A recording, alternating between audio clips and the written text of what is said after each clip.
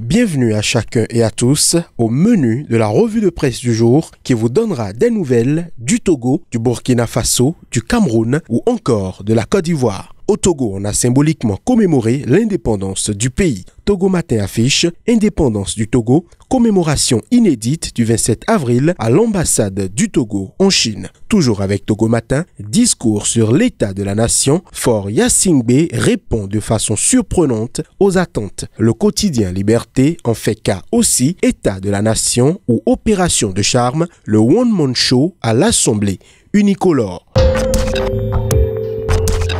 Au Faso, le décompte macabre en lien avec les attaques djihadistes se poursuit, l'Express du Faso, paroisse de Djibo dans le Soum, le curé Joël Youbaré pendu par les terroristes. Sidoya parle de la journée nationale du paysan et titre Le gouvernement s'engage à accompagner le monde rural. Même information avec le quotidien 21e journée nationale du paysan. Votre contribution vers la sécurité alimentaire et nutritionnelle durable est importante et digne d'admiration. Propos du président Rockmark Christian Caboret.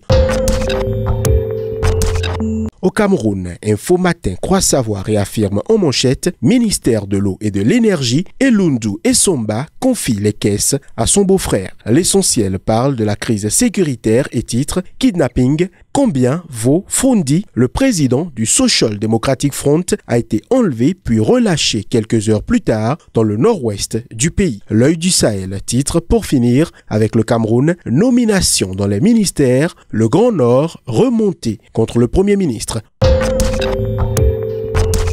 En Côte d'Ivoire, le Premier ministre a fait une sortie qui est en une de beaucoup de journaux. Le Patriote titre à ceux qui parcourent le pays pour distiller l'intox, Gon Koulibaly met en garde. Vous n'avez ni la capacité ni la compétence de faire injonction au gouvernement. Le jour parle toujours de la sortie de Gon Koulibaly et titre Concours de recrutement exceptionnel d'enseignants. Le Premier ministre déballe tout. Fraternité Matin se veut plus précis. Concours de recrutement exceptionnel de 10 300 enseignants. Gon Koulibaly le gouvernement se donne les moyens de combler le déficit. Voilà, ce sera tout pour la revue de presse Afrique du jour. Merci de l'avoir suivi et à demain.